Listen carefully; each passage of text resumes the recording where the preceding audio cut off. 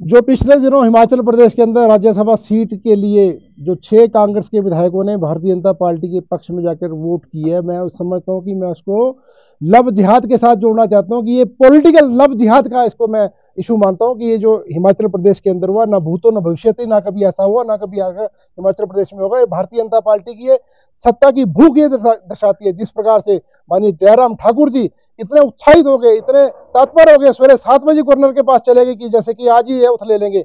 साथियों, हिमाचल प्रदेश के अंदर भारतीय जनता पार्टी की जो ये सत्ता लोलुपता है, और जितना भारतीय जनता पार्टी की ने इसे अंदर रोल किया, ये आने वाले दिनों में हिमाचल की जनता इन्हें जवाब देगी, और जहाँ तक भारतीय जनता पार्टी के लोग ये कह रहे हैं कि हमारा इसमें कोई योगदान नहीं है, कांग्रेस के विधायक अपने आप उठ के हमारे पास आए। अगर भारतीय जनता पार्टी के नेताओं का रोल नहीं है तो भारतीय जनता पार्टी के नेताओं, ये बताओ कि उनको विधायकों को हेलीकॉप्टर किसने प्रोवाइड कराया? सीआरपीएफ किसने प्रोवाइड कराई? हरियाणा का पीरोडी रेस्ट हाउस किसने प्रोवाइड कराया?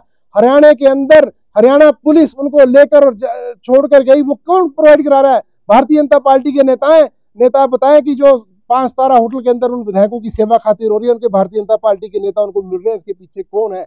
ये जो सत्ता की लोलुपता है, ये हिमाचल प्रदेश की जनता बर्दाश्त नहीं करेगी। और मैं समझता हूँ इसका जवाब आने वाले दिनों में पार्लियामेंट के अंदर दिया जाएगा। और हिमाचल के इतिहास में पहली बार एक ऐसा श्री मुख्यमंत्री हुआ जिसको भारतीय जनता पार्टी के भ्रष्टाचारी, दलाली और भूमाफिया लोग बर्दाश्त नहीं कर पा रहे। किसी तरीके से इसको उठाने के लिए उनको पीछे लगे हुए हैं। मैं समझता हूँ कि वो इस, इस, इसके ऊपर कामयाब नहीं हो गए और ये ऐसा श्री मुख्यमंत्री हिमाचल प्रदेश को मिला है जिसके अंदर दर्द है गरीब के प्रति हिमाचल के लिए व्यक्ति कुछ करना चाहता है।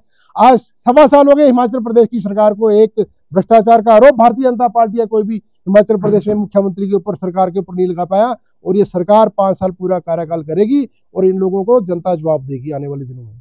मुख्यमंत्री ने भी कहा कि काले नाग की संज्ञा दी है। अरे नाग तो वो सफ़ेद थे जब कांग्रेस में थे मनी लगी थी, अब विधायक रूपी मनी उतर गई तो काला रंग पड़ गया था, आप इतिहास पढ़ लो।